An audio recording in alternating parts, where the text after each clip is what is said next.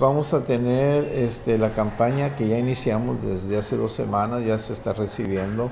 Lo que les pedimos a los muchachos y también a la comunidad que esté cerca de nosotros hacer aquí el acopio de que sea ropa de invierno, pero que sea nueva, ¿verdad? Con todo respeto, no usada, no ¿verdad? Este, que sean cobertores, este, calcetines, chamarras, suéter, lo que sea, desde niños hasta personas de tercera edad las aceptamos. Nosotros buscamos los lugares donde acercarnos, entregarlos. Este, vamos a la casa del migrante, vamos a la casita de los señores de tercera edad, o sea, buscamos nosotros dónde y los entregar personalmente. ¿Eso se entregará en diciembre?